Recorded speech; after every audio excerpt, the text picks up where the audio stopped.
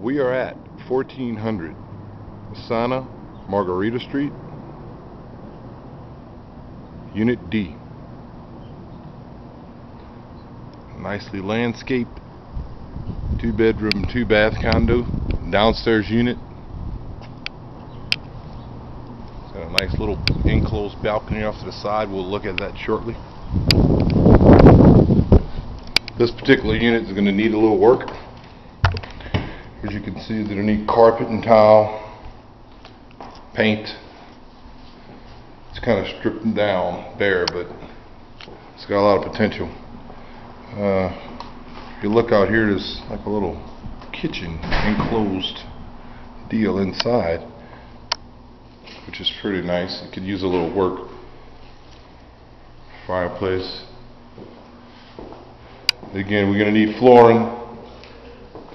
Counter tile looks fine. No cracks or blemishes in it. Cabinets look fine.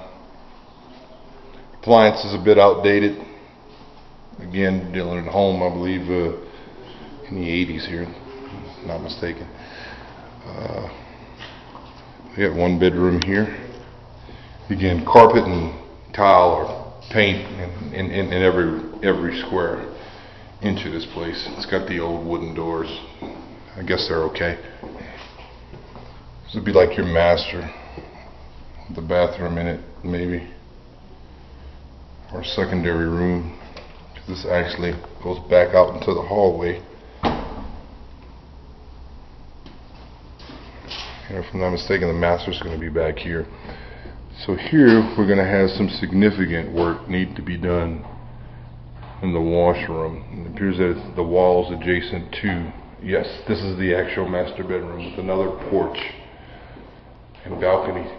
Start a deal out here. Just kind of got some stuff hanging out out there. That's what that looks like. It's also enclosed. Yeah, this is going to be your master. And uh, be your walk-in closet there. Shelves and whatnot. A little hole in the wall there. And again, this bathroom, you're going to need a new bathroom. You know, linoleum tiles all ripped up, and so you need the tile and put a whole new bathroom in here. But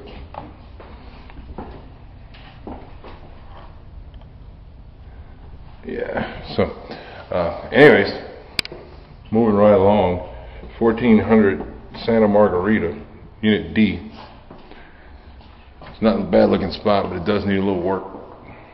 Need a little work to it. So there you have it. Welcome to your new home.